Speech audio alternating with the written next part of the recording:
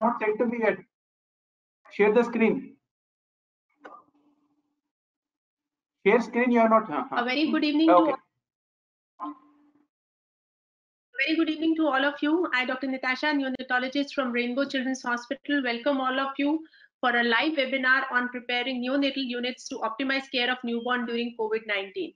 Since it's a pandemic, a growing number of studies reported COVID-19 infection in mother and newborn as well. Evolving evidence is observed an increased trend of prematurity, need of resuscitation in delivery room, and NICU admissions among the infants born to COVID-19 mother. As pediatricians and neonatologists, it becomes even more important for us to prepare to be prepared for all kind of these possible situations. To discuss a few very important topics in this regard, we have with us two very eminent speakers this Sunday evening, and I'm very sure you will enjoy listening to them with plenty of questions at the end of sessions. To begin with, I invite Dr. Dinesh Chirla, who is going to talk about intricacies of neonatal resuscitation of a suspect or positive COVID-19 baby, which will be followed by breastfeeding protocols for the same. Over to you, Dr. Dinesh. Good evening, everyone, and a warm welcome to this webinar on the Sunday evening.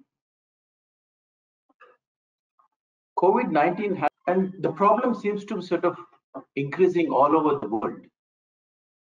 And as a neonatologist, we need to sort of understand how is it going to affect us.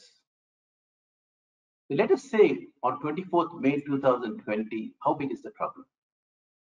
If you look at more than 5.4 million um, people are affected all over the world, with close to 3.4 lakhs deaths. If you take from India, the number of cases are rising. We have more than 1.3 lakh cases which are confirmed and more than 3,000 deaths. If you take from neonatal perspective, 240 pregnant women delivered in Sion and Nair Hospital, Mumbai, who are COVID-19 positive. Out of the 240 deliveries, seven units turned out positive. Fortunately, all of them are doing well. We also have a challenge that many pregnant women may be asymptomatic carrier. And we have to assess what is the risk to healthcare worker and to the facility managing that. Let us look at some of the scientific publication. A lot of us are having knowledge from WhatsApp and media publication about COVID-19.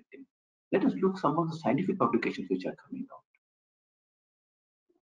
The United Kingdom's obstetric surveillance system has published this is a surveillance system which looks at some of the eight I know uh, rare diseases. Out of the 427 women who were admitted with COVID-19 positive in all the um, NHS sort of during the from the March to mid-April, 243 women delivered. Out of which 63 women delivered preterm. So definitely the incidence of prematurity is more in COVID-19. 46 of these babies required admission to the neonatal units, and five of these babies were extremely preterm. So, as a neonatologist, we definitely have a challenging situations. So what is the cause of prematurity in this condition? In 58% of the time, it was because of maternal condition. In 18% cases, it is due to the fetal compromise. And 24% cases, it's due to the obstetric conditions. Three babies were stillborn and two died in the neonatal period neonatal period, neither of the neonatal deaths were attributed to SARS-CoV-2. 12 of the infants out of the 243 tested positive for SARS-CoV-2. So the incidence of neonates being positive is approximately around 5%. Even if you look from the cases from what has been reported from Mumbai, you're having probably around 3.5%. What is interesting to see is that six of these infants with the were positive within the first 12 hours of the birth. And we'll come to it shortly because a lot of questions are being asked about is there a vertical transmission and what precautions we need to take. Three infants were having serum IgM antibody detected in the cord blood, but they had the RNA negative and all of them were asymptomatic. So what are the challenges for us as a neonatologist? A, antenatal counseling because of the preterm delivery. What do we counsel? We talk counsel about prematurity. We also need to counsel about what are the challenges with COVID-19.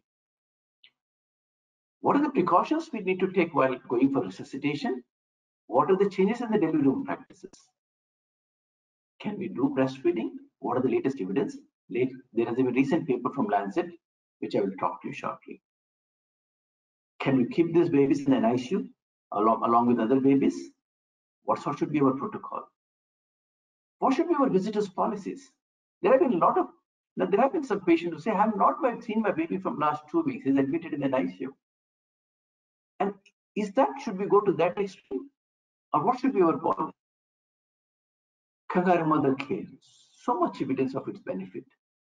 But what should be our strategy during this COVID-19? What is the risk to the baby? What is risk to your staff and the other babies?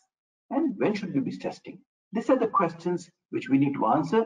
And trust me, more and more evidence, and that's why in this presentation is in what you give a presentation in April and what you give in May will go on changing.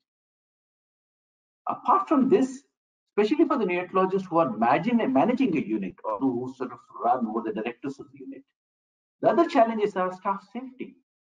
What prophylaxis should I give? What should I do if someone turns out positive? What are the quarantine rules? Is my if someone turns positive, is my unit at risk of closure? And how to take care of myself personally when I go back home? And these are the challenges which all of us are facing. And some of these things we'll be addressing in this presentation and also answering during the question answer session. Now, what is the mode of transmission to the baby? You look at either it has to be a vertical transmission or a postnatal transmission. Now, from the UKOSS study which we are saying, six of the babies were positive in less than 12 hours. And there is presence of IgM antibodies in the cord blood. There's one report from American Journal of Perinatology positive at 16 hours of life. So this points there's a possibility of vertical transmission. But majority of consideration that most of them probably acquire postnatally, either mother having COVID-19 pneumonia and through droplet, or getting in contact with any family member who's having COVID-19 positive through droplets, or coming in contact with other healthcare personnel, or being in sort of, you know, recently, especially with the Lancet report we have, we have is you share the room with someone who had got COVID-19 positive and the mother came positive and the baby came positive. So the postnatal sort of exposure is one of the way the babies can get positive. And of course, breast milk, is it a source? There's one report which has been published and there are some unpublished reports whether because this, what has been shown is that there is presence of SARS-CoV-2 RNA in the breast milk. The transmission has not been yet proved. Next question is, what should be the indication of delivery if mother is COVID-19 positive? What should be the of delivery? Just being positive does not mean there is an indication for delivery. The delivery should be guided by mother's obstetric assessment and her physiological stability. So based on UKOSS study, as we would have seen, that if mother is having a worsening of her respiratory status gets worse, her clinical status gets worse, or there's an obstetric indication, or there's a fetal indication, that is when she has to be delivered, not because she's COVID-19 positive. Earlier, there was a lot of concern about the mode of delivery. There hasn't been any documented evidence of presence of COVID-19, SARS-CoV RNA in the vaginal secretions or amniotic fluid. So, though there were initial pregnancy report from the China showed 84% were delivered by LSCS, but from the recent reports coming from the meta-analysis and the review of the the uh, registry from the USA, more 43.9% of delivery from normal vaginal delivery, and the recent report was saying more than 50% of them were delivered vaginally. So the mode of delivery can be as per the indications. Now, what if I know there is a preterm delivery? What are the indications for antenatal steroids? The concern about antenatal steroid is that it will induce, increase the viremia in mother whether it cause worsening of it. If you look at Royal College Pediatric Childhood Guidelines, there is no documented evidence that it makes actually any worsening. So given the current scenario and the protective effect of antenatal steroids and the preterm babies, For all the babies who born less than 34 weeks, antenatal steroids can be given as per routine, as per Royal College of Pediatrics and Child And so is the magnesium sulfate for all the preterm babies who are less than 30 weeks. You should go ahead and give magnesium sulfate, which will help in the protection of the babies. What are the specific precautions regarding the delivery room? Question is, do you have a luxury of having a separate delivery room? a lot of units had, they converted one of the room into a delivery room because what they would not like is, because if you have one labor room or two labor rooms, you don't want so you have something turning, you've taken up a mother who turned out to positive, disinfecting that again takes another day, it takes some time. So maybe converting one of the room into a separate delivery room and using that as an isolation delivery room is a good strategy for a lot of hospitals. And as you've seen, what we have done, though it has been proven that mother pushing and other things are not aerosol generating procedures. So you can put a screen between mother and the and the obstetricians to prevent any aerosol and put a mask to mother. So that will also reduce aerosol generation. Mother is being taken for section. A negative pressure operation theater is preferable. What has been the status of mother who is COVID-19 positive? From the neonatal perinatal registry from the released by American Academy of Pediatric and Perinatal Society, out of the which is every week they release their sort of uh, data. Out of the 401 mother infant died who were COVID positive, mother is positive. 268 mothers were asymptomatic. That is very important for us because a lot of us will be attending deliveries if mother would be asymptomatic in absence of lack of testings we do not know what we're dealing with 115 were symptomatic and 17 were sick enough to be admitted for covid-19 treatment what sort of resuscitation did the babies required 42 required just an oxygen supplementation 53 required positive pressure ventilation and 10 babies required intubation so where should this baby be resuscitated now there is, if you have a facility that you could keep the resuscitation corner outside the labor room or outside the operation theater as per the FOGSI and NFIP guidelines, that is preferable. So neonatal resuscitation in a separate room outside the, this would be preferable if you can. But for some reason, if it is not possible and it is in the same room, it should be at least more than two meter or six feet distance from the where mother is being delivered. If you look at this cartoon, you would see mother is having a mask. There are minimal number of people in the delivery room that the obstetrician is with appropriate PPE, wearing N95 mask, head shield, gowns, the complete PPE being had. The attendant who's helping is also on complete PPE. What we have practiced is stop allowing the attenders in the labor room. If we are asked, if your resuscitation corner is inside the labor room, then there should be a physical barrier, which like a curtain or something, which separates the resuscitation corner from the from the uh, mother, and the distance should be at least more than two meters or six feet. Incubator with the hood elevated with heating sources preferable, but however, if you have a warmer, that is fine. Person who's attending should be wearing the N95 mask, should wear the double gloves and gown, and preferably the most experienced person should be attending the system. A second person, additional person, should be waiting outside. Now, why are these guidelines? See, the number of availability of PP has been the biggest challenge, though now it is easing off with increasing productions.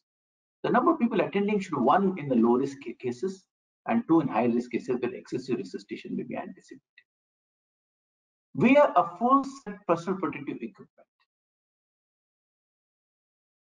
Now, some units, especially when you have a trained midwife, when you have an experienced midwife, would practice that a senior person would come only if the child requires respiratory support. So you're all ready and you get in. But that is the biggest sort of um, challenge in India. So it's preferable one person with full PPE is available to attend all the deliveries if mother is suspected COVID-19 positive. And if you're attending a high risk, like a preterm delivery, mother uh, or fetal distress, Meconium like uh, diaphragmatic hernia, any of the risk factors, then two persons who are experienced enough should attend the delivery. What are the guidelines for the, some of the key perinatal practices? Cochrane had reviewed some of the clinical practice guidelines for the key questions related to pregnant women and their babies. I just highlighted some of the practices related to the babies, like delayed cord clamping, KMC and skin-to-skin contact, well baby separation and breastfeeding. From the 19 guidelines, which included either the country's guidelines or could be the organization guidelines were reviewed. And if you look at, there has been a difference of opinion among different countries. If you look at delayed cord clamping, 18 countries wanted to go ahead with delayed cord clamping. Four wanted to have a prop clamp, prompt cord clamping, whereas seven were not clear. Seven wanted to go ahead with the KMC.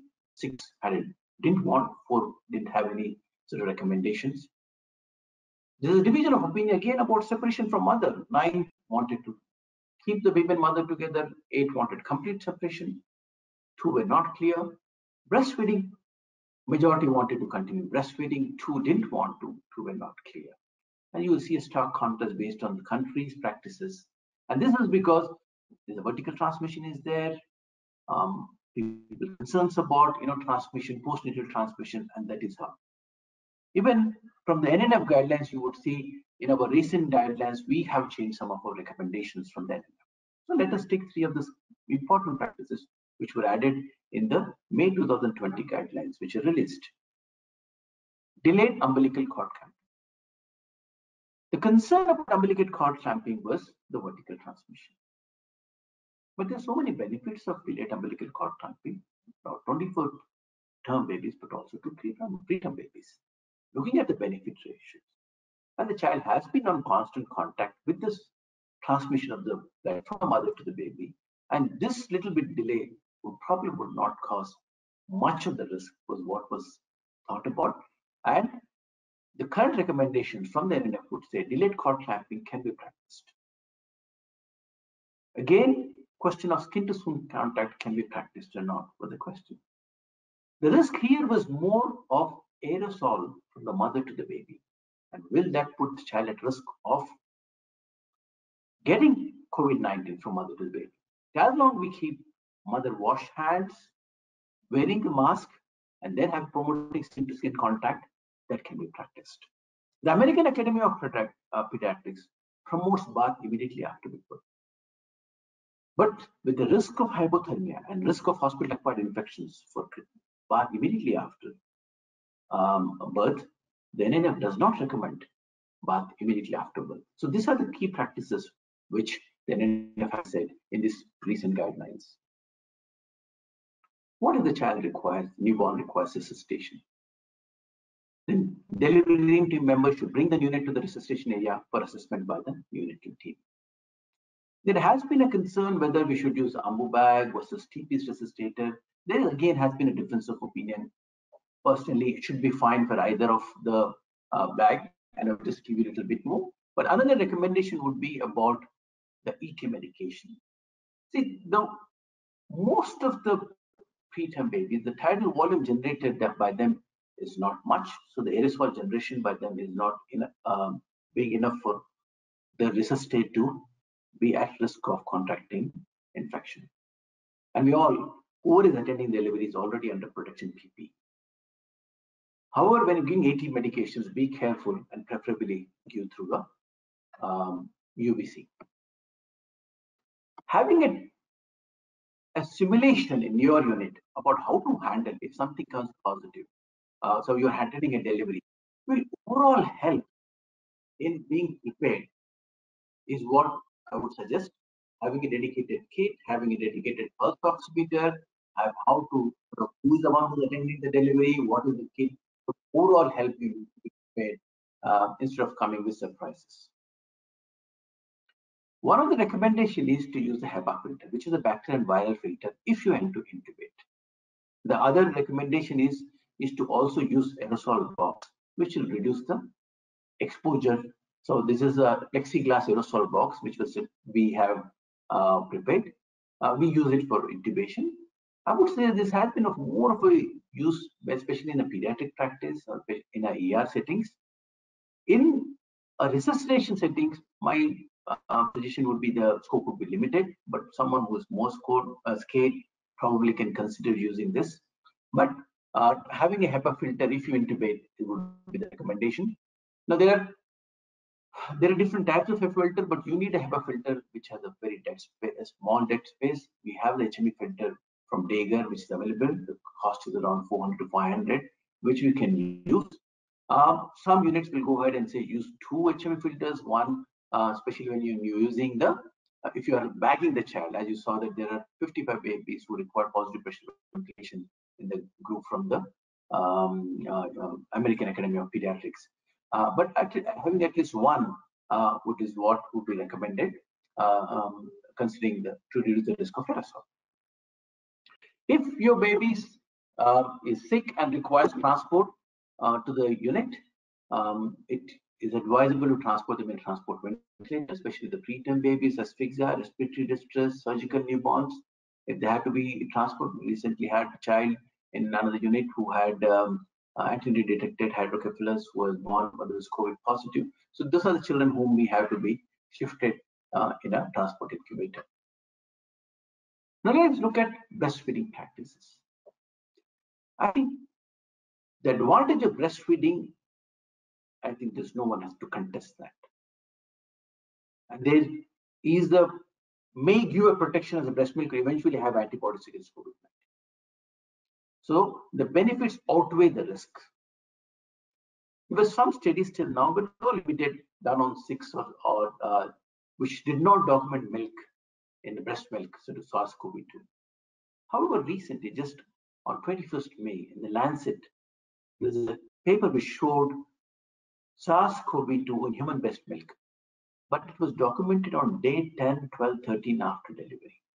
So like majority other viral infections, maybe you can start the the virus could be sort of positive in the later part of the second week. And that is when we may have to be testing. Whether this study and subsequently suppose we start testing uh, in COVID positive models in the second week because a lot of limited studies about presence of uh, SARS-CoV-2 in milk so far. Uh, whether the recommendation would change, we do not know. But looking at current literature, the benefit of breastfeeding outweighs the risk. The risk of the risk of transmission of aerosol is more compared to risk of having COVID-19 by feeding. So this is something which has to be discussed with the parents while making a decision. Now, what else can be discussed? There are two approaches which the parents can take. Either mother can express her milk, so she can express her milk to maintain milk supply, she can have a dedicated breast pump. She can wash her hands and breast with soap and water various masks while pumping. And have a designated person who is not exposed to anyone who is COVID positive feed the baby. So that reduces the aerosol exposure to the baby. Or do a direct breastfeeding, but she wears a face mask and wash her hands before each feeding. The risk of transmission is explained to the parents. So if you look at the two options are there, if mother is asymptomatic or has few symptoms, after explaining to the parents, rooming in care is promoted with direct breastfeeding with all the precautions for aerosol. However, there could be a situation where either mother is not well or the newborn has to be in the ICU. That is where the mother-infant separation is there. That is where express breast milk is given. Hand washing prior to handling infant, mask during breastfeeding or should be sort of continued and Six foot distance when not feeding uh, should be maintained and suspend visitors. We looked at the neonatal perinatal registry about what are different units doing in the US. Nearly 32% of unit uh, are following the contact and droplet precautions. 48% are following contact, droplet, and airborne precautions. And 30% are not following any precautions. And where are they kept? 47% are along with the mother, and the remaining are either in the nursery or in the NICU. And this is based on the shared decisions and, and based on the clinical condition of the baby. What did the parents decide? In 38% of the cases, they took formula feeding. In 36% of the cases, they took direct feeding. So this is from the American Academy of Pediatrics. This is uh, every weekly they re, um, release the data, and this is from 401 um, uh, pregnancy of infant and mother died. Um, there were 19% who had um, um, fed by another, and it was only 4.2% were express fed by mother. So, what has been our recommendation of NNF? If it's a child and mother and both are stable, in stable unit, mother is asymptomatic or mild symptoms, both mother and baby can be roomed in with exclusively breastfeed. Support lactation, nurse trained in essential newborn care lactation should be provided. A healthy asymptomatic willing family member who is not positive for COVID-19 and has not been in direct contact with suspected confirmed COVID-19 may be allowed to provide support for mother and infant. Mother should wash hands frequently, including before breastfeeding and wear a mask. The mother-baby diet must be isolated from other suspected infected cases. So this is what we'll be promoting. And if rooming is not possible, because of the sickness in the mother or the neonate, neonate should be fed express breast milk of the mother by a nurse or a trained healthy family member. If safe, early discharge to home followed by, by a telephonic follow-up or home visit by a designated healthcare worker may be considered. So when can the mother directly breastfeed? A, she should be asymptomatic, no respiratory symptoms, no fever for three days, and she should be have two negative samples of source COVID test 24 hours apart. That is the time when she can directly breastfeed.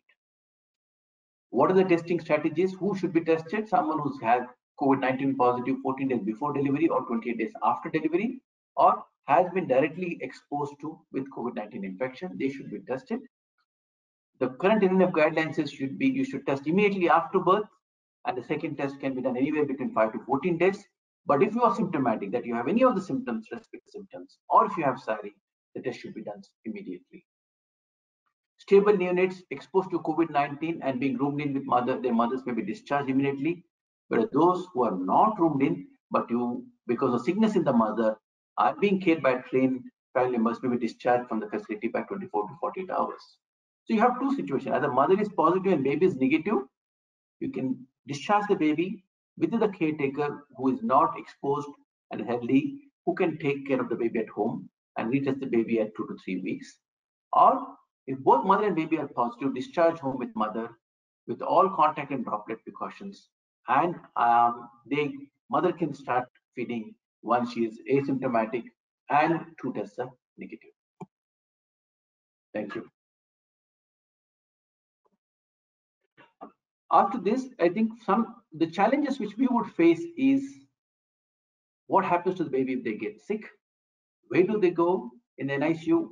How do we treat them? What are the challenges when we are treating in NICU the preterm babies or even the term babies when they are born to COVID-19 positive mother? To uh, enlighten us on this topic, we have Dr. Nalinikanth Panigrahy, who is the consultant neonatologist at Children's Hospital, Banjara Hills. Uh, over to Dr. Nalinikanth Panigrahy.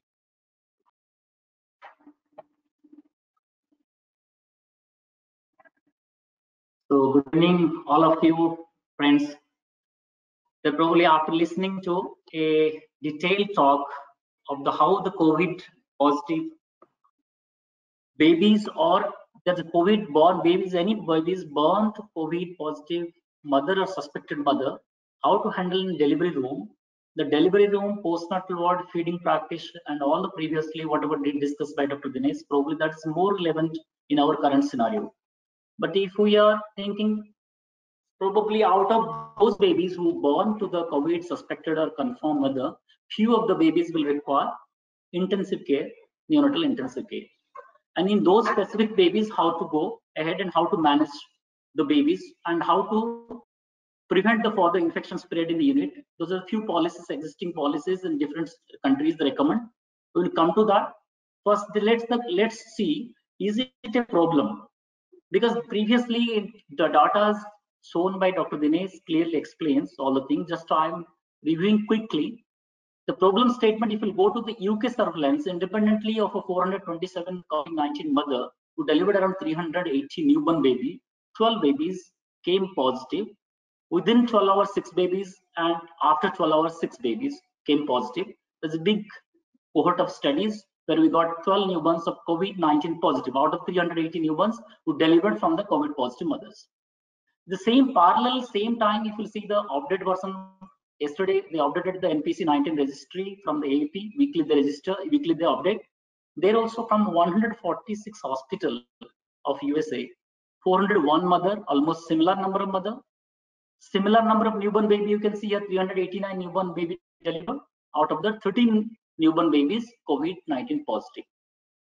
So if the load we will see here, out of each 100 babies delivered from the suspected mother, three babies are coming positive. That's the worldwide, if two big cohorts we are speaking, that's the recent data now. The coming to Indian data, that's not different. If you will see the currently three days back and seven days back, two newspaper clippings from Mumbai, two different hospitals, they quoted 115 and 100 so almost 215 mothers with COVID positive deliver. Out of that, both the hospitals, three babies are newborns. Babies are positive for COVID-19. But both, the, all the three babies from the, both the hospitals are stable. And if you take all the newspaper data, is the formal any data not available in India, six babies till now are COVID-19 positive from from how many baby from mothers the data not available? But all the six babies stable and out of six babies five babies are discharged home. That's the indian data. Do they require resuscitation specific resuscitation or nicu care? That's detail not available to us. But coming to the world over what happening to the across different countries? If the same thing i'm probably repeating here.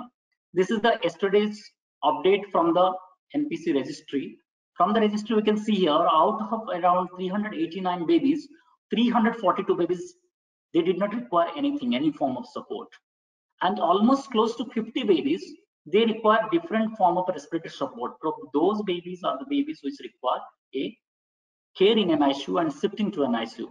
So out of 400 babies, 50 babies, so almost the percentage we can say is a very minimal number of babies who are positive already require respiratory support.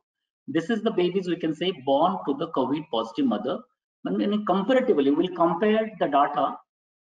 If we this is this data we compared few weeks before. Out of the total 50 newborn babies worldwide positive, which reported worldwide across different countries, China, Italy, Spain, and US, UK, whose detail available, completely detail available, is a 50, 50 babies, almost we can say 49 babies the respiratory support requirement was 25% among those babies. In comparison to the US data, which uh, we, we discussed previous slide, there's almost 7% babies required any neonatal admission if the baby is born to COVID positive mother, but without themselves positive for the COVID test, SARS test. But once they become positive, the requirement will increasing. So almost we can say how many babies positive, they require 25% babies require different respiratory support. And the same thing when the expands this study we did two days back, if we will compile all the data world over how many newborn babies turn positive for COVID, detailed data available for 79 babies and there's few data displayed from the different social media and the data like 12 babies from UK, 13 babies from US. We will combine total 103 newborn babies turn positive. Out of these 103 newborn babies, the data which is available out of 80 babies, 25%, 25 babies required different form of respiratory support, including ventilation, including CPAP, NIV, HFNC, different form of respiratory support. Probably those are the babies which require NICU care. So I'll come here, what, who are the candidates? The candidates are few. I'll come to that, what are the indications, what the new second version of NF guideline that says specific babies are there who probably require to shift to the NICU. Remaining babies who does not require shifting to the NICU, that well explained by Dr. Dinesh talk how to handle them in postnatal wards. But one thing we have to keep in mind, whenever we are shifting the babies from delivery room to the NICU or the postnatal ward, where we specifically isolated ward, we thought of will keep the babies, the transfer should be, the baby should be within an incubator. So incubator, if there is aerosol or the droplets transmission will be minimalized, minimalized. So the transport should be with monitoring in an incubator, transport incubator. If the transport incubator not facility is not available, specifically the way we use for intubation time to prevent the aerosol to spread outside to the care providers, this box can be used in a warmer or a, any mobile unit. We can put the this box so which prevent at least the minimize at least the droplet or aerosol generation, spray to the outside and we can keep inside and can sit the baby. So these basic precautions we have to take when we are sitting from the delivery units to the NICU. And coming to the NICU, that the different respiratory supports will require, as we discussed, 25% cases.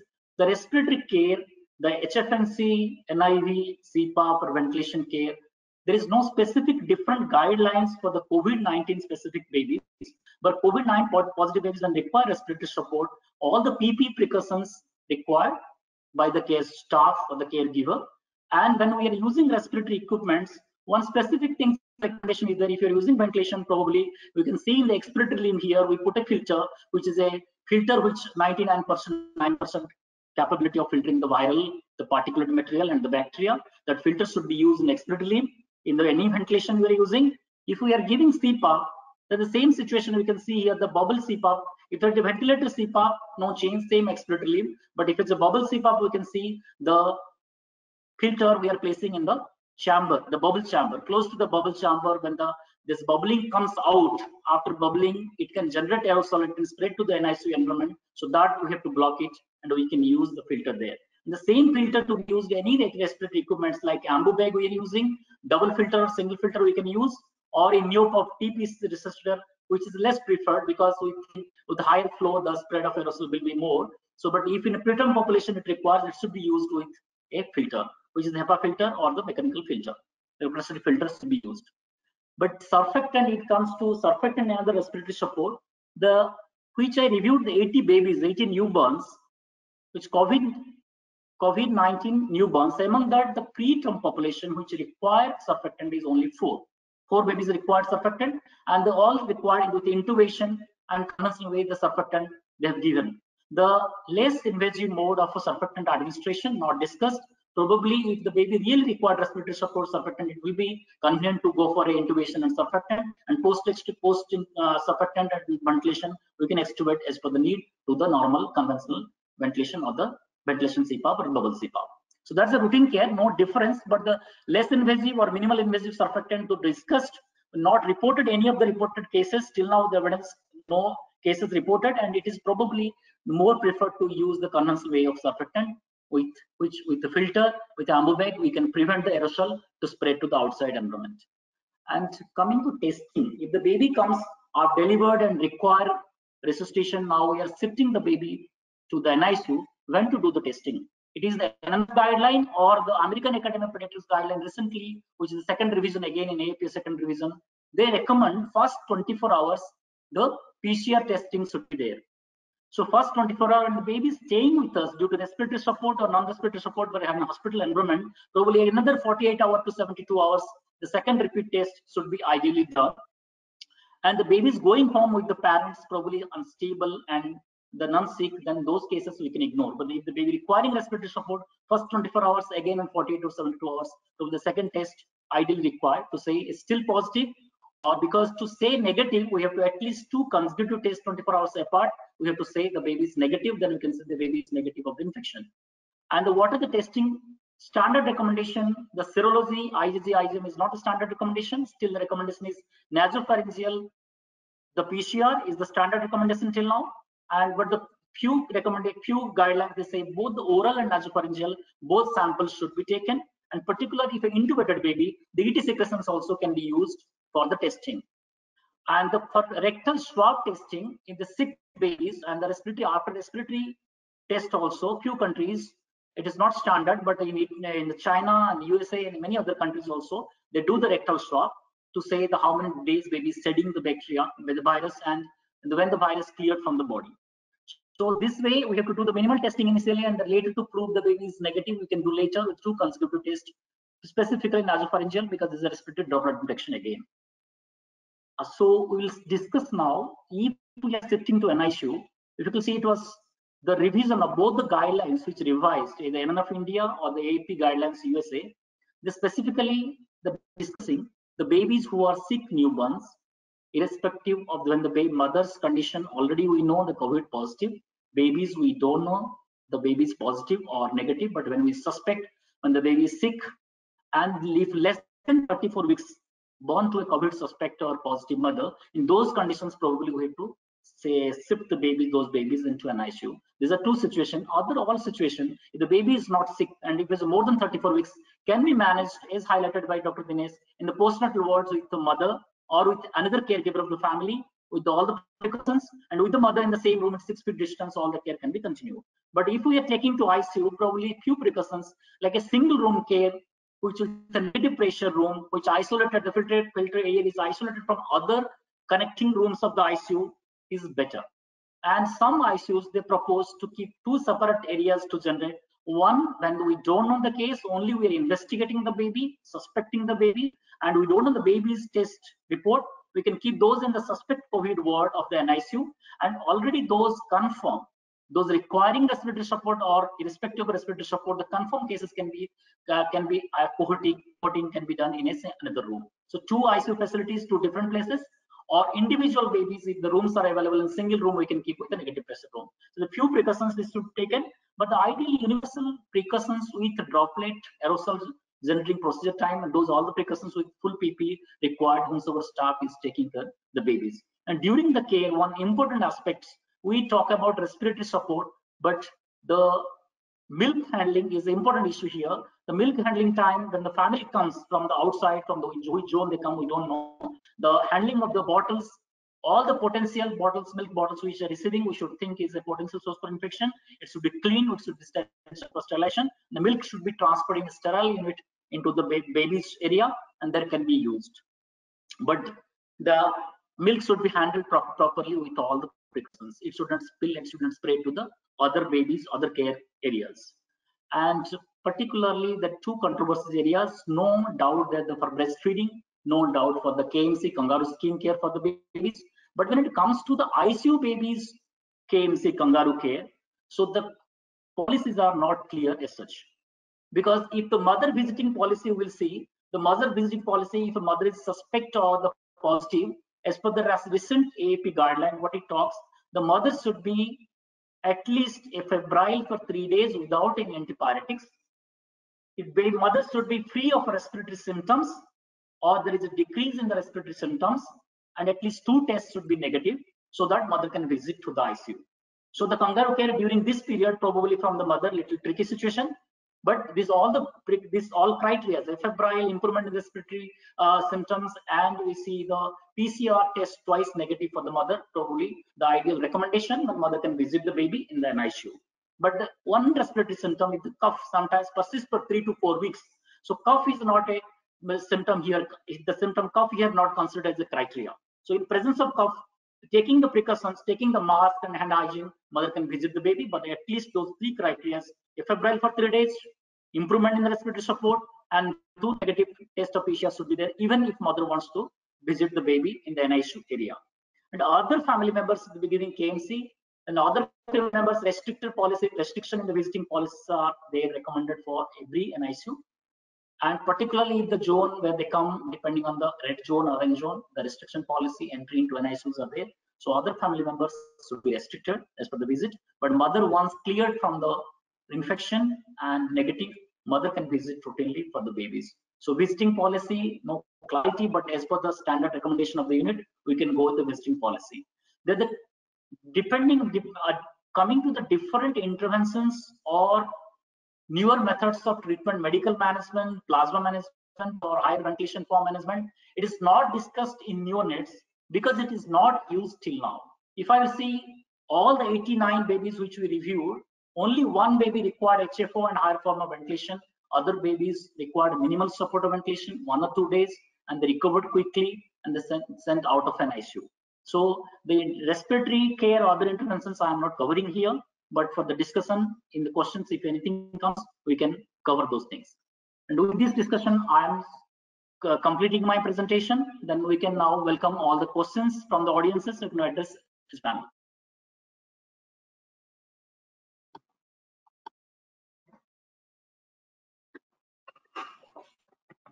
Um, thank you very much dr dinesh and dr nalini uh, for your enlightening talk.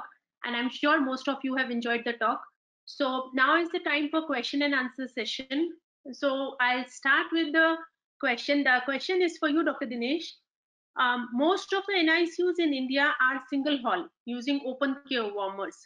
How to treat babies born to COVID positive mothers in such units to prevent droplet or aerosol spread? That's the biggest challenge, isn't it? See, I think it's very important for us two things. One is safety for the baby, safety for the staff whom you are, and safety for your own personal self, and safety for your unit. If you have a single um, uh, hall NICU and only with the warmer, um, I think well, you need to start looking at either converting one of your rooms as an you know NICU bed, where you shift one of the warmers there and position your babies there. That is what should be the practice, rather than making this NICU as the where you keep those babies. That is what people have done. So people pay hospitals, hospitals which had NICU, which is only single or two units, and which not what they have done is they started keeping their NICU babies in the PICU, and they took part of the PICU and said we'll keep our NICU babies there because they don't want to harm the rest of the newborns. So if you do not have, don't compromise your other babies. That is one thing. You, with some people would might argue that I might should put a thing transparent sort of a, uh, screen or something like that to prevent aerosol generating, but that that may not be the ideal thing. The other thing is incubator is one option. You can put the child in an incubator, maintain the distance of at least sort of uh, six feet between um, uh, both the uh, uh, and people wearing masks. Um, the, the workers who are wearing masks, taking all hand hygiene precautions would be the other thing.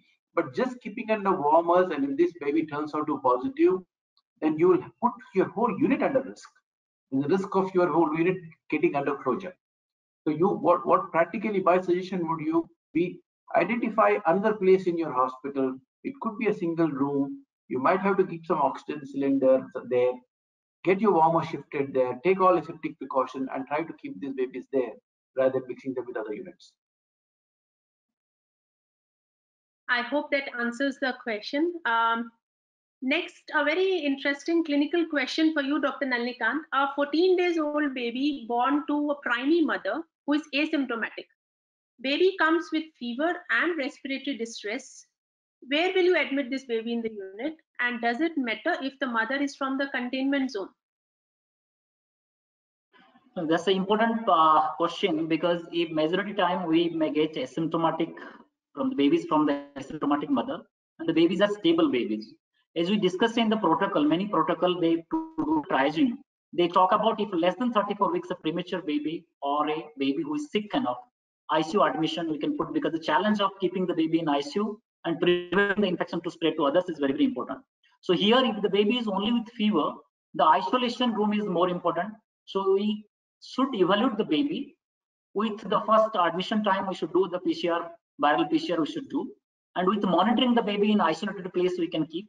But the nursing staff with all the precautions can start care of the baby. And with next 24 hour to 48 hour, if, if the investigation once available, we can proceed with the further plan.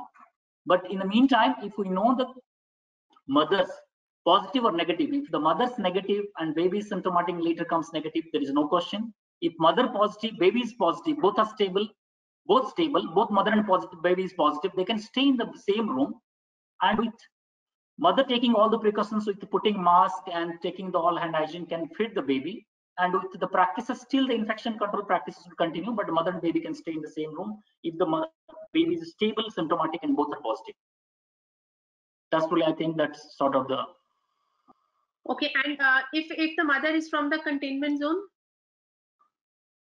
No, mother containment zone, but we have to know the mother. When we are evaluating the baby, we are parallel evaluating the mother also. The mother's test report yeah. will guide us how to proceed. If mother and baby both are positive and stable, they can stay in the same room in isolation, the word in the same room. If the mother is negative, baby is positive, probably that's a different situation. Baby achieved from horizontal transmission from other source. So their question you have to completely isolate the baby. And if a mother positive baby remains negative, then that's a baby remain negative. So like any other illness, febrile illness and sepsis, we have to evaluate and further proceed. So depending on both the mother and infant diet, we can proceed as per the recommendation. Uh, very practical question for you, Dr. Dinesh. Um, how is there any uh, protocols uh, for bathing practices immediately after birth for the new normal newborn babies? See, uh, I think uh, I mentioned that in my presentation. Um, this is something was only that came from AAP, American Academy of Pediatrics recommendation. Um, there has been no evidence of documentation of SARS-CoV-2 in the amniotic fluid. However, to reduce the risk of transmission, the AAP has recommended to give bath immediately after birth. But on reviewing our country's policies and the load which we have and the infrastructure which we have, the expertise, the risk of hypothermia is very high if you go for immediate bath practices. And risk of hospital acquired infection will also be increasing. So in view of that, because of COVID-19, I do not suggest a, any change in your existing practice. So there is no, no, no bath because of COVID-19 is what my answer would be. So there should not be any confusion. The NNF in its recent update has clearly mentioned that that we should not promote bath because of COVID-19. There should be clear guidelines for that. Right. Um, another question, the part of it you have al already answered in your presentation, Dr. Dinesh. Uh, it's about uh, uh, COVID positive mothers. Will we start breastfeeding soon after birth?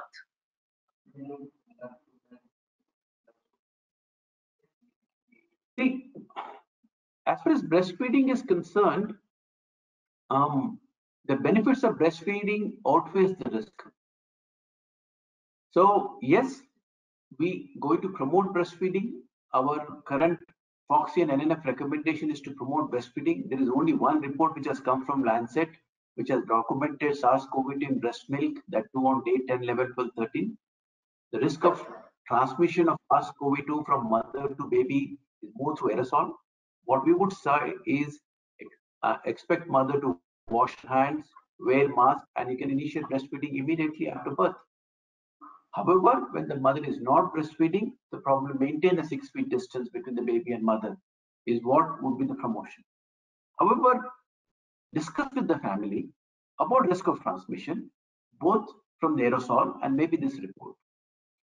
And some parents might consider express breast milk as an option to be given by a caretaker who is not COVID positive. If that is the decision taken, then we may have to sort of respect their decision and ask mother to express milk and give that milk to the baby. And uh, I, I, showed you the data what is being followed in US, but especially in a country like ours, I think we need to strongly promote breast milk. There should not be any change in the practices for that. But very important to take all aerosol precautions. Mask should be worn by mother, hand washing should be there, and she should wash the brush. Right. A similar question um, uh, connected to breastfeeding. Uh, one of the attendees have asked, like, if this uh, baby is on exclusively breastfed, do you recommend testing in an asymptomatic neonate? And if yes, how frequently? If the mother is positive or suspect positive, but baby is asymptomatic, do you still recommend testing when the baby is on exclusive breastfeeding? See, when to test baby is a very controversy and is varied from country to country. And that's why you find that in the data releasing, some countries have been conservative and would say the child is asymptomatic and uh, would, they would not like to test it. But the recommendation would be if mother is not suspect, mother is confirmed positive, to test the child immediately after birth or as early as possible should be the first test and there should be repetition of the test between day 5 and day 14 because the first test sometimes might be negative. This is the current recommendation as we would suggest because you need to test to confirm whether the baby is positive or negative. So to, uh, to put a straight this, the testing policy has been different for newborns. There has been no clear recommendation from ICMR regarding the neonatal testing. The NNF supports testing for the newborn if mother is positive irrespective of the breastfeeding practices and immediately after birth, even if it's asymptomatic, and the second one would be between day 5 to day 14, preferably towards the later part if it's asymptomatic. However, the child turns out to be symptomatic, you should do the testing immediately. Right. Right. Uh, so another interesting uh, practical question uh, for you, Dr. Nalinikanth. what are the precautions you take while doing neonatal emergency transports? Uh, what are the challenges which you face while uh, you have to transport a suspect or a positive COVID-19 unit? So when we are transporting a baby, you're transporting in-house, the question is different. The transport in-house is safe just with prevention of aerosol, with containing the baby in incubator, transport incubator or the purpose gas box, we can check the baby. But the transport from the outside facilities, and the facility depends on the which the area which we are going there, the area is red zone or green zone or the orange zone, the containment area. Depending on that, sometimes we will face, face difficulty. And if it is depend between two states the transport between two states to taking permission to go interstate permissions or going to a containment area which is already declared red or orange little difficulty we have to arrange all the pass beforehand. And the ambulance should carry the pass and uh, information so it will be easier to enter there. And when we are going and getting the baby the few precautions like any baby we are transferring if we are doing aerosol generating procedure as much as possible if you can avoid aerosol generating procedure during the en route or when we are receiving the baby it is better.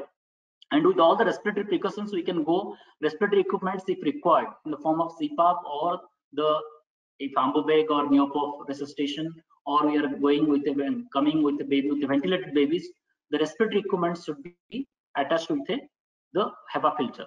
So that way it can prevent the spread to the surrounding when the staff is inside the ambulance. And taking care of the baby inside a incubator transport incubator can limit the baby's spread. For normally a baby stable baby still should be placed inside the incubator or a containment uh, chamber and baki rest all the things the administration only administration should to be sorted out before initiating a transport otherwise if you ask me the neonatal protocol it is not different if we are getting a baby from the from a baby depending on the sickness we have to support the baby it is not going to be different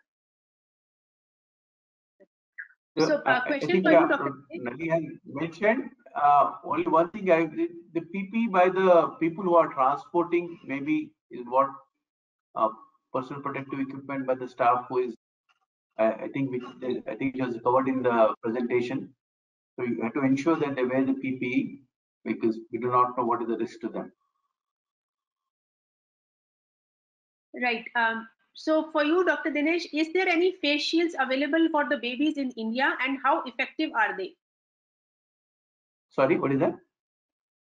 Is there any face shields available for the babies in India and how effective are they?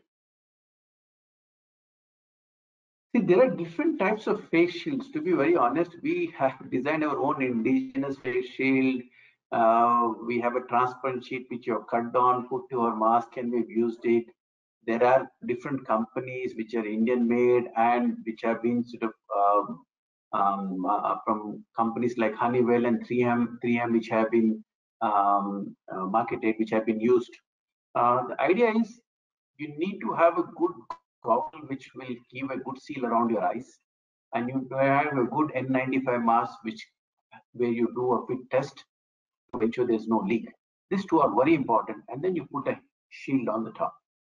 But most of the units, because especially when the beginning, when the availability of sheet is less, they designed by themselves in the unit. And we have done like that. We got one of the transparent sheets from the uh, stationery shop, cut it, and we started using it, and uh, it seems to be working well. But what you wear inside it is very important. A good goggle and a good N95 mask, and the shield is just on the top of it. Right. So the next question is something practically which we have faced uh, many times in last uh, two months. So uh, it's for you, Dr. Dinesh. What do you suggest about babies who are outborn with respiratory distress, referred for NICU care from a containment area or hotspot? Mother's status is not known. Uh, I think it is partly, uh, Dr. Nalinikanth has addressed something similar case like child coming with fever and uh, this thing.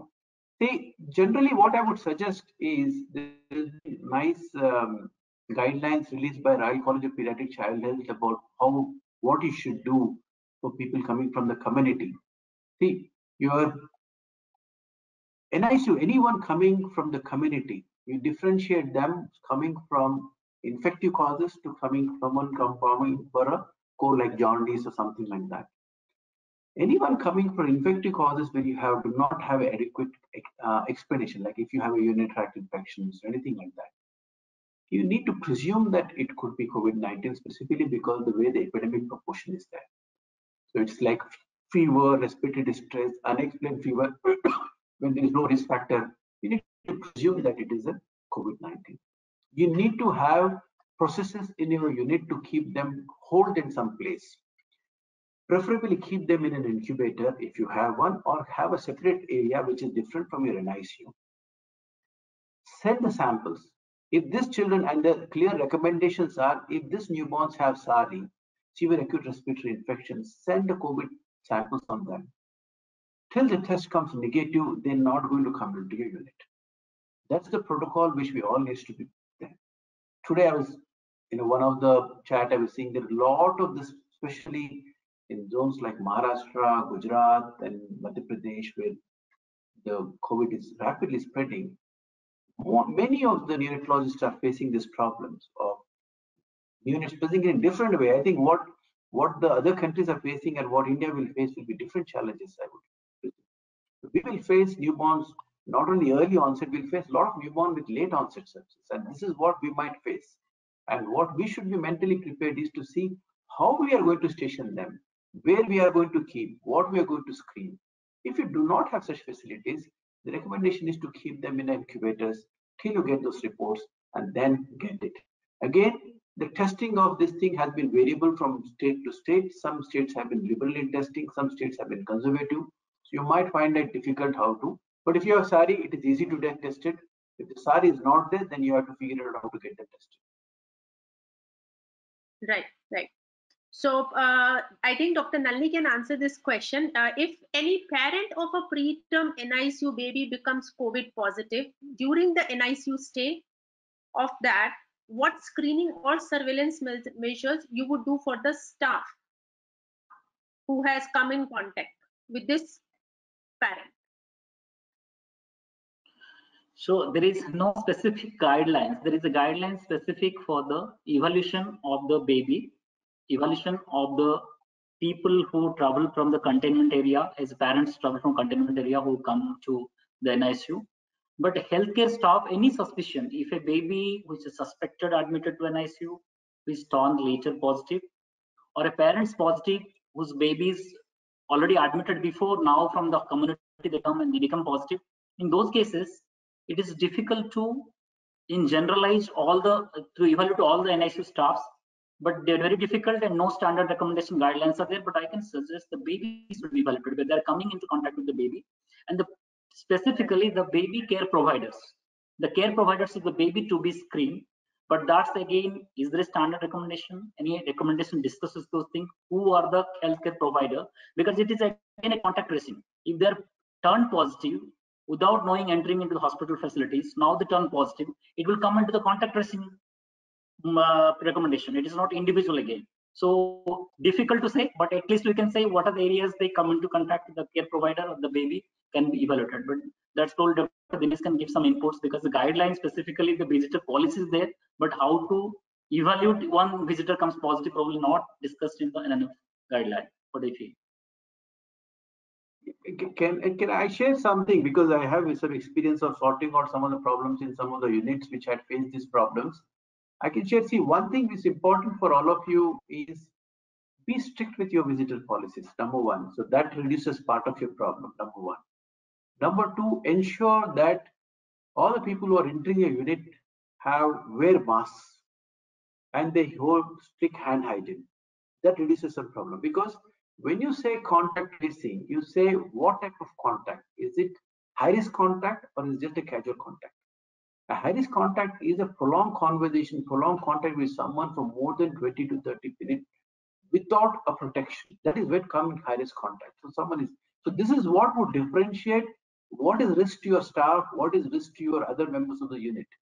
And if you get this sort of protocol in your units, that will reduce the number of staff whom you have to quarantine or number of staff you have to test if something like this gets uh, to your unit because any of the parents sort of come positive. And third is a screening questionnaire. So what we have introduced our unit is every day, whenever these parents come in, they sign in a screening questionnaire where they declare themselves whether they have fever, cold, cough, they're coming from containment zone, and they have to sign it every day to say they have anything like that.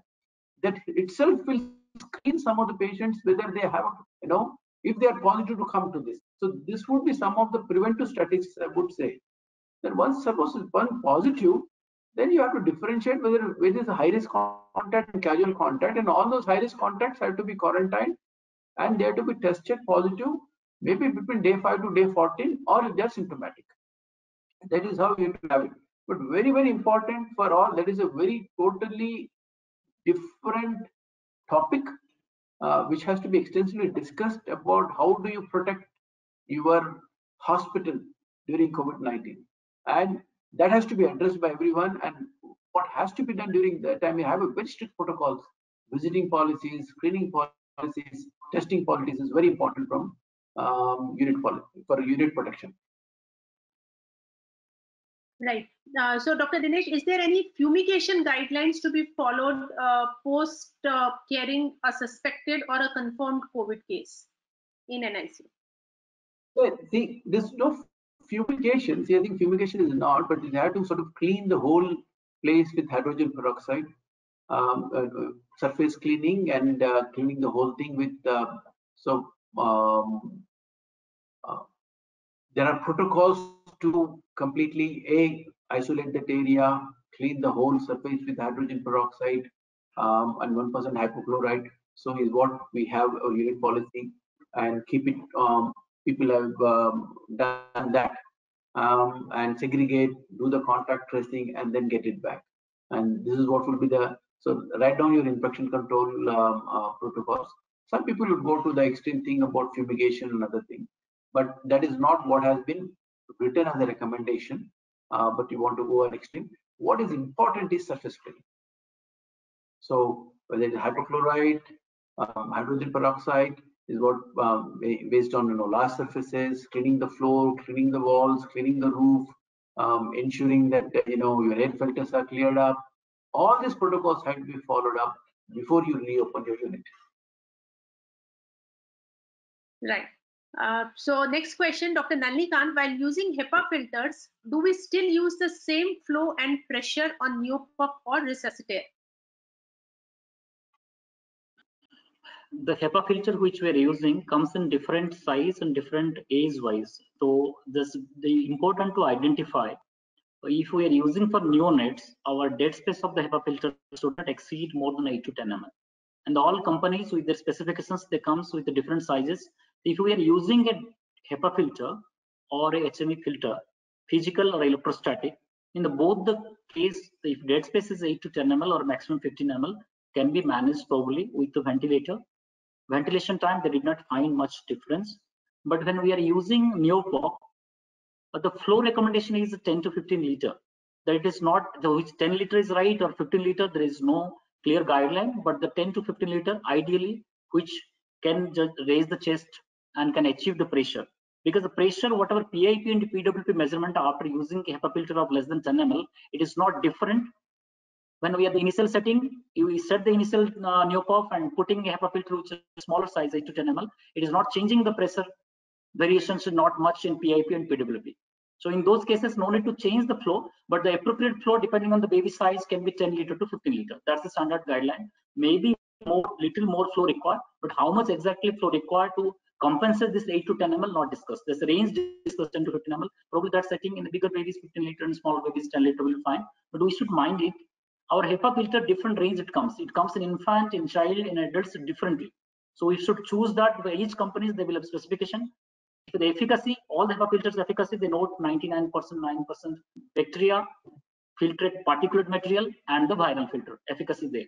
Those recommendations after fulfilling those criteria we should see the size should be small enough to generate only 8 to 10 ml or 12 ml of dead space. Then probably no need to worry no need to change our settings because in both the cases in bubble CPAP and the neopuff they have checked already if the setting you whatever fixed setting we're using and smaller HEPA filter is not altering the pressure fluctuation is not much we can use it But ventilation, depending on the ventilator protocol guideline, is it a Maquet ventilator, Dräger ventilator, VN500, we should go for the their standard recommended HME filters. We cannot use a non-recommended filter, which can change the resistance pattern, which can create more, which can, which can induce hypercapnia in the baby.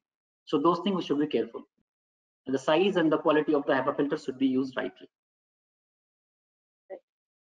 So, uh, Dr. Dinesh, is there any change in the guideline of resuscitation of a newborn with perinatal hypoxia with COVID scenario?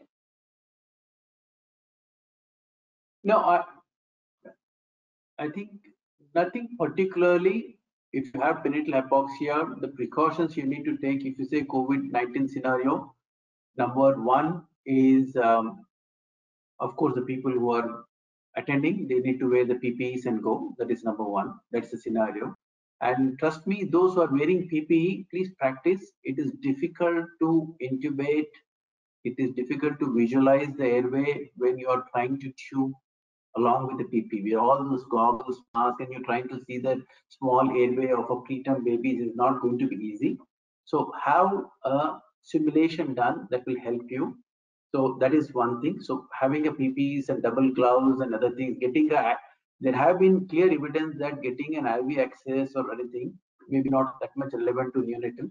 Getting umbilical vein catheters. So PP is one. Second thing which has become relevant uh, uh, with COVID-19 would be using a HME filter with either bag or when you're intubating the child. So when you're intubating the child, uh, you need to use a HME filter um, uh, in between the mask and your bag. And uh, when you are intubating between endotracheal tube, to reduce the risk of transmission, though the, the tidal volume generated by the newborn is very less, the risk to the, uh, because what has been found from the adult studies that the anesthetist or the critical care specialist were highest risk of developing COVID-19, those who are intubated. That is the data which has come out. And that is the reason why for all the healthcare workers, doctors who are intubating are at the highest risk of during intubation. That's why people were so worried what precautions we should take. So that's when the plexiglass has been um, designed, which you can use, which I demonstrated during my presentation.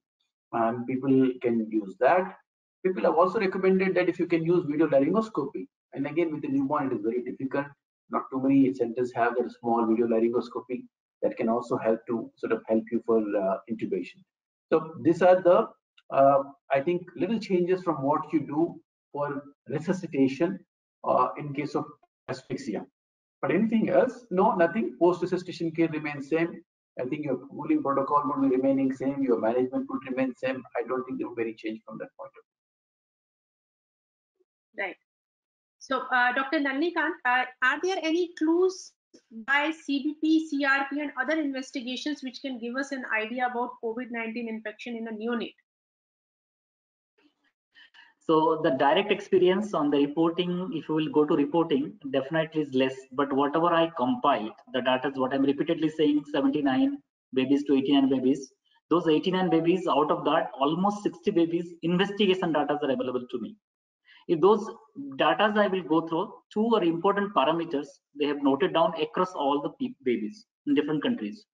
If there is during CBP, the leukopenia or leukocytosis is not a clue but the lymphopenia, a specific a baby, febrile baby or symptomatic babies comes with lymphopenia, that's probably a clue, which is out of that 60 babies, almost 22 babies they have reported with lymphopenia. But remaining 40 babies again not having lymphopenia. But if it is there, lymphopenia, increase PCT, not the CRP. CRP is not giving any clue, but increase PCT, which is procalcitonin, these are the two investigations. And along with if there is a suspicion, few babies they have investigated, there is an increasing trend of CPK. There is an increased trend of LDH. So these are the enzymes levels they found. It is a little higher in symptomatic babies, but no specific investigation which can guide us except the imaging. If there's a respiratory symptom, X-ray, ultrasound, and CT scan with their own sensitivity, they guided us for the pneumonia. The babies asymptomatic babies, they came with fever only, no respiratory symptom. Still, when we investigated with ultrasound, chest ultrasound and CT scan, they got pneumonia evidence. So combining blood investigation with imaging probably is going to help us as a marker. because the first 24 hour to 48 hour important when we are still waiting for the test. If these investigations give some clue, we can suspect, we can probably, we can think that this is coming into that categories of COVID uh, positive babies. So this few investigation can help, but no specific investigation till now. So that means, do you suggest doing CPK and LDH along with CBP CRP? they have they've done all the studies they found out basic screening of sepsis screening in a newborn because the majority babies out of those babies 103 babies majority babies presented as a late onset sepsis after seven days out of the 103 babies only babies 20 babies came with early onset sepsis late rest babies all babies they presented late onset sepsis from the community so those babies they initially screened with the sepsis screening they did, the blood culture they asked for a chest x-ray this is the conventional testing they did but if they got any clue Further, as the extension of the investigations, they investigated to the CPK, investigated to the LDH, and investigated to CKMB, the cardiac involvement, they did CKMB. So these all investigations is additional investigation to the basic panel of sepsis screening. And whenever they got a clue in the form of lymphopenia, majority babies they got these enzymes, raised enzymes, as a further investigation help. But it's not a routine investigation right. to be recommended for all babies who suspect. Right. So uh, for Dr. Dinesh, uh, there is a referred baby for a routine check in the OPD who is born to a COVID positive but an asymptomatic mother. So please advise regarding the testing, feeding, how do you follow up and routine vaccinations for this baby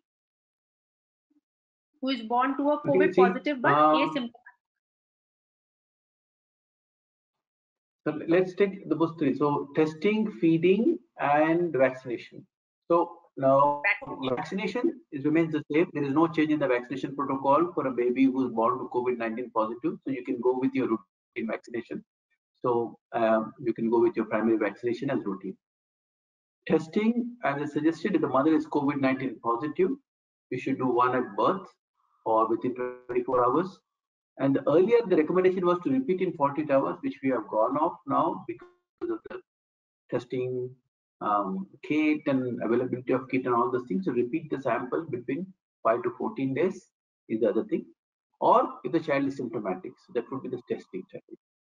Feeding, as of now, I think based on the current evidence, um, we, I would say promote breastfeeding, but you need to tell the mother the risk of transmission, explain to her all the precautions, hand washing, wearing mask, and uh, feeding. Uh, direct breastfeeding is one option um, is one thing if they're rooming in. Um, other is to, to express milk and uh, again while expressing she takes all precautions like wearing mask and uh, uh, washing her breast and someone else feeds. So these are the two options which we can speak to her. Um, but promoting breastfeeding is what would be the current recommendation.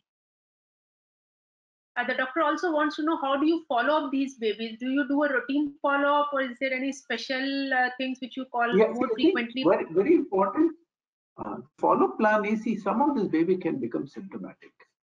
So a lot of these uh, babies can develop symptoms from anywhere between day 5 to day 14. They can have late onset and have so video consultation is something which has been recommended by some countries and which we can do because how do we follow them up in unit what sort of do you have a respiratory clinic in your OPD? Do you have a COVID-19 clinic in your outpatients? Is a challenge. There's a lot of us so if you have a facility, like you have a COVID clinic in your hospital, call them for COVID-19 clinic. And, and the, the, treating doctor or the examining doctor takes all precautions while examining this mother and the baby. So you need to wear all the PPEs when examining them. But the follow-up would be explaining the signs, like the child develops fever, child develops any respiratory signs, symptoms. They need to be also sort of uh, explained to the family that they need to come back typically up to two to three weeks is when uh, the symptoms can uh, come up and uh, um, th that is when we would uh, ask the family to be in touch with the uh, medical facility this is as far as multisystem inflammatory syndrome which has been reported in pediatric age group i don't think there has been any report from, from the neonatal so i don't think we need to worry about it as far as uh, newborns are concerned at this stage. Eh, I think this is the data is going on changing so much. I think it is a little scary to give any dogmatic statement. I think we talk about what is current evidence as of now. Right. Thank you. So another question for Dr. Nalinikanth. Uh, COVID positive mother is being treated with available cocktail regimen. Is it a contraindication to breastfeeding for the maternal drug intake point of view? The cocktail regimen means it is a COVID cocktail. Yes, I think The the, doctor means with regimen regimen for the mother. Does it Uh, become a mother is- contraindication? Mothers if we say minimum medications like if we are talking about antiviral medications lopinavir or escitalopram if the mother is receiving or hydroxychloroquine these medications they have clearly said hydroxychloroquine if mother is receiving can feed the babies no contraindication there. So directly below 15 years we are not talking about hydroxychloroquine to the babies infants and childhood below 15 years as a prophylaxis, but therapeutically still indicated. So no absolute contraindication mother can feed. But cocktail means so many medications are there, and each medications the guidelines are different. Till now, if a mother is sick, not able to give the feeding, that is different. Mother is non-sick, though medication, oral medication mother is receiving, no medications, oral medications is a contraindication to feed the mother, to feed the baby. So either direct feeding or express milk feeding, both the cases is said decision we discussed before the breastfeeding said decision can be fed can be mother milk can be used for the baby i don't think any discussion happened with the medications existing medications what used for the mother unless the mother is very very sick and use receiving many medications mother simultaneously mother is sick and admitted in icu that's a different story Right. So uh, for Dr. Dinesh, is skin to skin care immediately after birth? Will it spread corona infection from skin? Yes, um, as you see, this is one uh, recommendations which we have reviewed from the NNF, and you see the first recommendation released in March has said no skin to skin contact, and uh, the recent recommendation May 2020 said you can promote skin to skin contact. Um, now, the whole idea is, you know, we need to take all the precautions while promoting skin to skin contact. Um, the whole idea about is the mother infant bonding is very important especially from an indian context. We need to look at the bigger picture about uh, infant well-being nutrition other and the outcomes of the babies.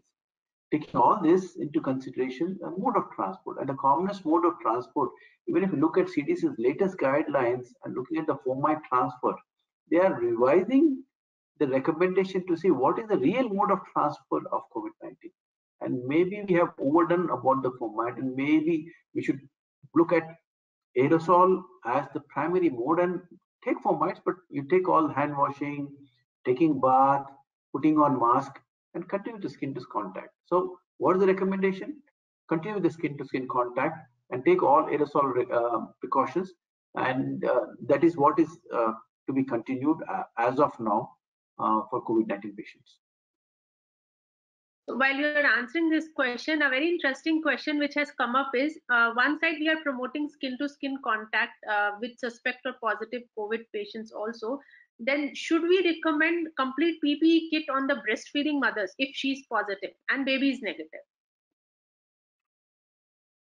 So do we use see, the PPE?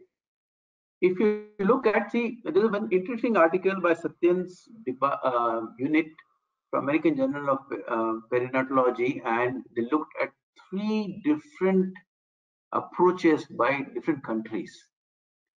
So one country has gone off to the extent that they kept mother and baby separately, like China, and they promoted formula feeding.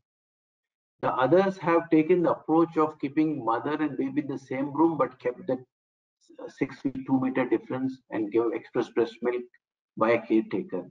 And a third has given an approach of trying to keep both of them together, take mask, promote hand washing, and continue to breastfeed.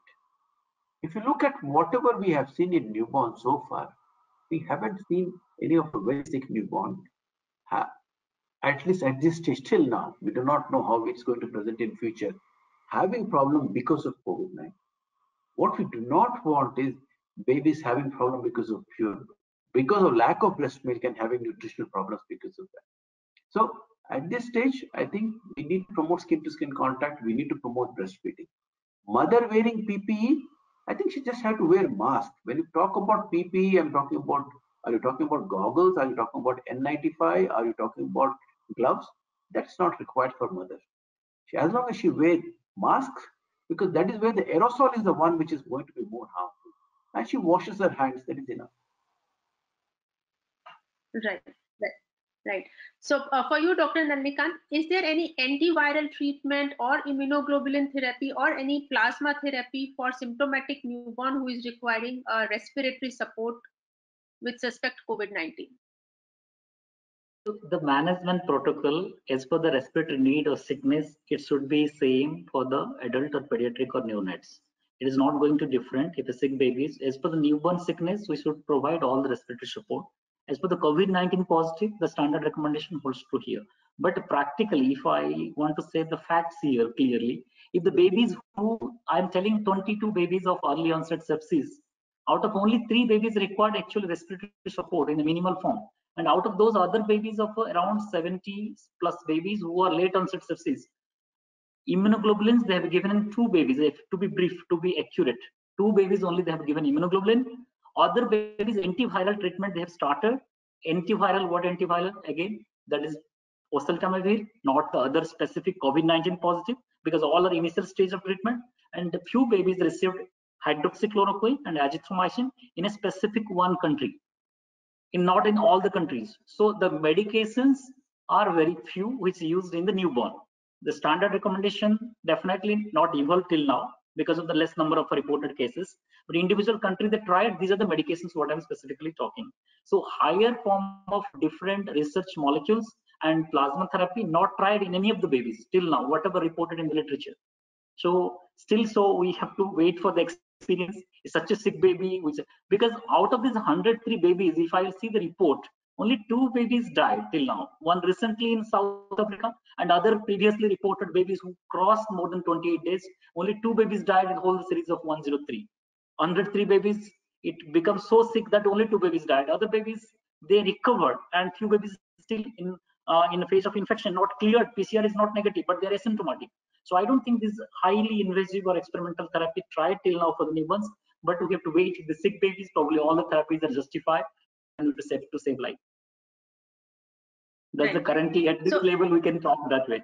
Probably the because the evolving experience and with higher the mortality is higher with sick babies we are getting probably things may change little later but presently this is the standard experience whatever we got from previous reports right so uh, another practical question for Dr. Dinesh. Can parents or visitors use their own mask which they have been using while coming from home before entering the NICU? Or should they change the mask and wear a fresh one when they are entering inside the NICU? I think the visitor policy has to be very strict who enters the NICU. Um, I think especially in the pandemic time when we do not know asymptomatic carriers, when we do not know who is coming in, a lot of units have gone to these things of promoting. Uh, there are three types of uh, unit policies which I have reviewed. One I've stopped complete visitors and only showing video consultations, uh, which is little extreme and, and it looks, um, you know, a lot of uh, parents are having not, not being able to see the child, detachment from the babies, and leading to a lot of stress in the family. That is one. Second option is to promote mother to come, but not any of the other family members. So that is the second option which people, people have said. And third would be to let father or mother come, but not anyone else. So this is a one of the three options which people have taken as far as visiting policy into the NIH system. Now answering the question to the mask is concerned, my suggestion would be since it's a question of safety for the baby and also safety of your staff. Probably important for you to insist for them to wear disposable masks when they're entering your unit. That would be keeping your unit safety uh, is very important. We have to recommend them if they're using their own mask to wash their mask and come because otherwise we would not know how long they've been using masks what is happening. Um, see, this type of things, designing protocols are going to be tough what is the background of the uh, parents, what they can afford, what financial background they come, it will be difficult. So based on the type of families you're dealing with, it, you may have to individualize protocol of your unit and see what happens. See, if you have a family who probably cannot manage, they might be fine to do a video consultation. So you have to balance between safety of your unit and what the parents can do when you want promoting the visiting policies of the unit. Right, right. So, uh, Dr. Nalikant, in future, do you think that there might be a time when uh, every antenatal visit should be tested for COVID like HIV and HBS antigen, or should we do it now to have a safeguarding of our own unit when the mothers come for delivery? Screening policy always depends on the resource of the country and resource of the state. So decision at the individual hospital level, it is very, very difficult to take. If initially you see many countries, initially they started screening, they also now coming to the policy that if symptoms are there, then screen it. If there is a suspicion, they're screen it. So the limiting the resource to the triaging and limiting the resource to the person who is needed. It is not blanket everybody's to be to be done because you can see the transmission rates. We can see oh, 400, 402 cohorts we discussed. Out of the almost 400 babies we screen. How many babies we got positive? 12 babies after 400 babies screening. Page mother positive, 400 mothers delivered the babies, and this 12 babies. So we have to use the resource wisely. And they now they're coming up many literatures. And Dr. Vidyasagar from US has proposed an article recently two days back. Even though countries with resource or without resource, if managing the neonates, we should use our machinery, equipments wisely in a specific way so that with less facilities we can do better. And every screening everything, probably it is the cost and the the involvement of the uh, technical challenge and the mm, number of kits required and the persons required for testing and the protocol change probably it is state policy dependent. So i don't think at this stage we are into that situation when every mother should be screened before delivery. Right right uh, for you dr dinesh in newborn babies who are symptomatic and uh, born to corona positive mother uh, who have respiratory distress as well do you think lung ultrasound or CT chest will help in early diagnosis as it is being happening in the adults, which gives us a very clear picture? Yes, they have yeah, documented simultaneously like adults. The question, should I answer the question? Yeah, yeah sure, sure, sure. Go yeah, ahead, yeah, yeah, yeah, sure. So sure. If, uh, if, if, you will see that that's what is the trend that's important what the learning experience from the other units who takes care the neonates. Coming to the adults, even some PCR negative cases, they have got the early clue in the CT scan, it's just evidence of pneumonia they got, and later they, the adult found to be positive for PCR, but initially PCR was negative. Same case happened with the newborn also. Few newborns, very symptomatic, sick, respiratory distress is there. When they did the initial 24 hours to 48 hours, they got the PCR negative, but those babies, they diagnosed pneumonia with the typical CT scan pattern of pneumonitis of the COVID-19. Because they, they, could not confirm, but they considered it is a COVID-19. So as per the protocol, COVID-19 protocol followed those for those babies. And in those series, not many cases are available, but a nine patient series, one single series of six patients and another three different individually reported cases. What they found out, X-ray may miss the pneumonia, but they got a better result with CT scan. But CT scan is not standard recommendation for a stable asymptomatic babies. Symptomatic six sick babies we can do CT scan, but in those series of six babies, what they found, even early stage of disease, when CT scan missed some of the pneumonitis, they detected with ultrasound. So, but ultrasound is operational, always dependent on the operator, but still ultrasound has a good sensitivity to pick the pneumonitis of the COVID origin pneumonitis. With the early phase we are doing and we can do follow. It's a non-invasive test. We can do it routinely daily basis. So ultrasound if expertise is available we can do. But the standard protocol again support respiratory care testing as per the standard recommendation first 24 hours and later. And in the meantime for the monitoring sake regular monitoring sake or early initial stage we can do the ultrasound just ultrasound and the few of the reports anything which we are we are going to discuss here about the neonatal care. There is less experience and the still experience evolving. So whatever experience till now, ultrasound is a good sensitive mode to detect the neonatal pneumonia of COVID-19. Right. Also, Dr. Nanli, please tell about the vertical transmission risk to the baby. What, how much it has been documented in the literature? So yeah. vertical transmission. Maybe I. Better You can answer, sir. yeah, I, I, I think reviewed that. If you looked at um, this thing, um, the we have few reports now coming up.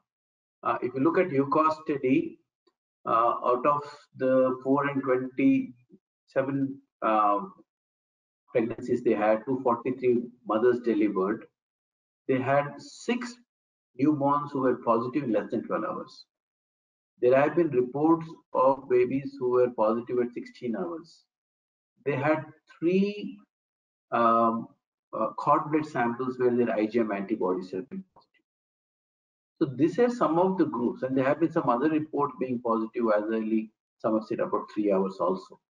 So when you have reports like that, they put that there's a risk of vertical transmission is possibly there. If you look at the RCPCH guidelines also currently, would be very clearly saying that maybe we are looking at possible vertical transmission in these babies. Um, so yes, does it make a difference in our uh, recommendations at this stage? None of the recommendations have changed much as of now, based on the work what vertical transmission do. Uh, as and when you know when we come with some reasonable sort of uh, medications and when relaxes another thing and safe things, whether that becomes relevant is what we'll have to see in future. But yes, there's possible route of vertical transmission which is being considered at this stage. But nothing has been found in amniotic fluid. There was some discussion in some unit about talking about whether there will be a dead virus in the vertical uh, in the amniotic fluid, and that's how you will find positive if you take it from a throat swab or a nasopharyngeal swab. I don't think there's anything like that. There's no no evidence of any uh, SARS-CoV-2 from amniotic fluid. If you find a nasopharyngeal swab positive, it's probably a thing that the child got it. Right. So uh, apart from that, one of our doctors is also interested in knowing about the medico-legal aspects in uh, managing the COVID positive uh, neonates. For example, if we do not know that this child was positive and later on comes to be positive, should we close our NICU? And if the neonate comes to be positive and quarantine ourselves, and uh, what are the medico-legal aspects uh, behind it? Maybe Dr. Dinesh can answer this question. See, the medico-legal aspect is very, very confusing at this stage. It, it has, and every day there is something new. Take your ICMR guidelines, take your government strategies, and we do not know what the patient is expecting and uh, what we're expected to do. And again, there is a differences from state to state recommendations. So what we are expected to do. So I, I think what is very important is we need to have our own unit guidelines about how to manage patients who come with suspected or proven COVID-19 positive. You have to have a set protocol which you need to follow, number one. You need to have a definitive guidelines about how you are dealing with your staff. So in terms of staff safety protocol, infection control policies, all those things have to be completely laid down by yourself. So this keeps you safe when it comes to medical legal. Third is all your PPEs and other protocols when you're dealing with, as I was saying, someone coming from late onset, or if you have a mother coming from containment zone comes and delivers. These are the, the third thing which you have to do. Then the last part is if you do all these precautions and if someone really comes positive who have who have you have treated your unit, then you have to follow all the quarantine rules which have been laid down.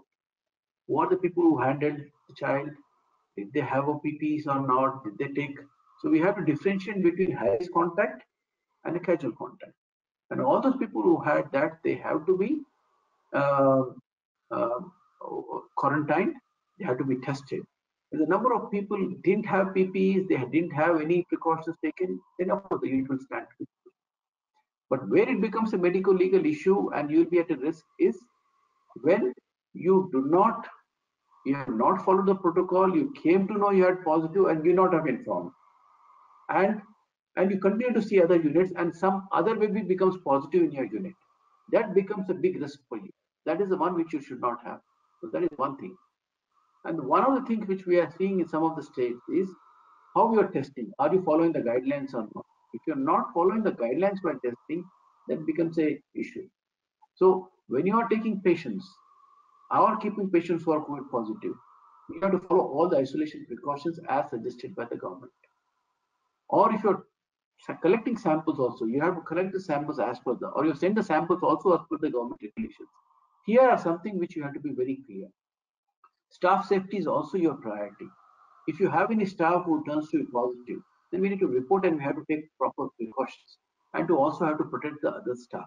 So this is something which is how we become medical legally uh, you know uh, responsible.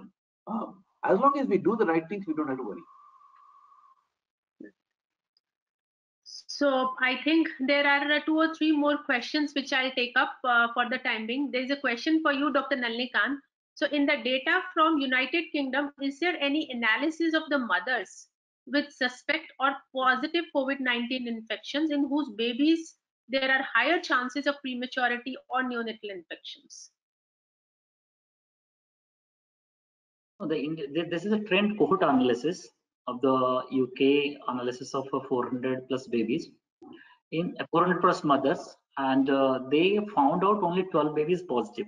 But in those cases, uh, retrospectively, those 12 babies who became positive early first 12 hours and later next six babies 12 hours and six babies later, they've not done the risk analysis. Who are the babies who are the babies getting infection specifically and to what respected mother those babies become positive they've not analyzed clearly but one thing the trend if you will go to the trend there is a if a covid positive mother's trend there is increased preterm delivery increased rate of cesarean section and there is increased need of resuscitation. From the both uk and usa data there is showing increased need of resuscitation at delivery room if in comparison to general population the cohort uh, the covid positive mothers they face these problems. Increased prematurity increased cesarean section and increased and those cesarean section they again analyzed the cesarean sections which is obstetric indications which due to covid-19 indication. So some covid-19 indications are more so all they are though the trend from the china majority deliveries were cesarean section now the trend is different. World over normal delivery 60 percent and 40 percent cesarean but the cesarean contribution from a covid-19 is a little higher. So these three risk factors are clearly identified. Preterm delivery is more, cesarean section more, and interface delivery room, the resuscitation in the form of EPB and oxygen need is more. Who are the mother which specifically responsible, the factors responsible for the baby's positive? That analysis is not done because the papers contains only obstetric mother's detail, no detail about the babies. Those 12 babies details are not available in that paper. Right. So uh, for Dr. Dinesh, why bag and mask positive pressure ventilation is preferred over T-piece resuscitator? As I said, see, probably because of the high flow generation by T-piece resuscitator, we use high flows when using T-piece. That is what some of the units had considered that. Um, some of the units say it really doesn't make any difference.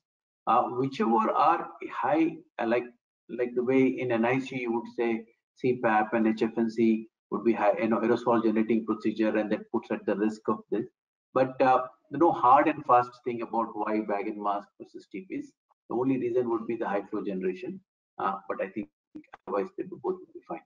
You know, um, if you have to do a positive pressure ventilation.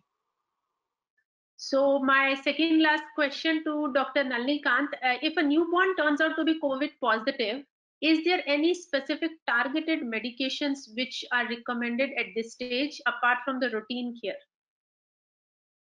for a neonate? Till now, no specific, till now, no specific recommendation if a asymptomatic baby comes positive, just only follow up required and we have to by doing the test. Different country specific guidelines are there. All the uh, country agrees to do a repeat nasopharyngeal PCR to say that baby is negative. And few countries they along with nasopharyngeal they do the rectal swab estimation to say that baby is negative. And the symptomatic follow-up only recommended. Till now, no specific drugs in a positive babies as for treatment not recommended unless the baby is symptomatic and requiring specific neonatal care related intervention. It is not related to COVID-19. By baby man might require, depending on the sickness and prematurity, other uh, neonatal care, but no specific medication till now recommended for the baby who is positive. Right. So uh, the last question for Dr. Dinesh, uh, which has been popping up many times. So Dinesh sir, have you happened to come across any of the COVID positive mothers delivered or you have attended the delivery either in your unit or anywhere across in Hyderabad directly? So basically wants to We know had have you have We have some cases in our Chennai unit. Um, the mother was referred for antenatal, uh, uh, the baby had fetal hydronephrosis, uh, hydrocephalus, for which she was referred. She was asymptomatic, and um, but because she came from a containment zone, we had to uh, screen her. Um, and uh, the policies, as I was mentioning to you, is the screening policy has been variable from state to state and uh, um, some states we uh, little liberal in testing. So we tested because she was positive. Um, uh, she she came from the containment zone, and all PP precautions were taken while uh, um, delivering her. The initial sample was negative, and subsequent sample was done, uh, which turned out to be positive. So I, I think. Uh, this is something which all of us are going to face, and all of us have to learn to live with this. Um, it is just matter of time. Um, maybe it's not as dangerous as people are considering it. If you look at the mortality rate or fatality rate of coronavirus overall in the country, it is not that bad. Um, we have to learn to live with it, but we have to have an established protocols about how to deal with them. We need to take all precautions, and, uh, and every unit need to deal uh, with it. It's like any other disease. Uh, as long as you know how to manage that, it is fine. But if you don't have established protocols, that is when you have problem where most of the unit will get shut, they'll have problems, quarantine, staff moral. So I think here, apart from patient management, you also have big administrative responsibility of establishing the processes, establishing and looking at the staff safety, staff moral, um, and communication to everyone, um, and revisiting everything as and when policies changes. So I think this is what we are all facing. We had big, I, I- I would say during this, we had a lot of experiences. Um, staff coming positive, um, and how to deal with the staff coming positive. Um, what do we do with the quarantine? Um, who are the people to be screened? How do we keep them? So the challenges we faced, and we had to deal with that. Um, this is the challenges which most of the units are facing. There have been patients who have uh, uh, came from the containment zone. Some of them we have uh, because based on the states, there are some states where they are very clear that this have to be sent beforehand only to the government facilities. So they have been sent straight away to the government facility.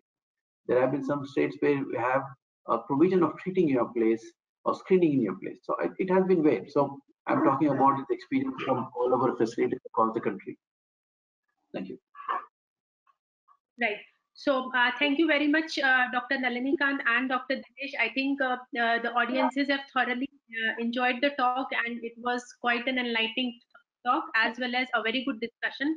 I also thank all the audiences who have actually participated uh, a lot and I think uh, we had almost around 80 to 90 questions, although we could not answer all of them. Uh, some of them being repetitions and I'm, I'm hoping most of the questions have been answered. Thank you, and we probably uh, finish the session over here. Thank you all. Thank you. Thank you very much. Thank you. Thank you very much, all of you.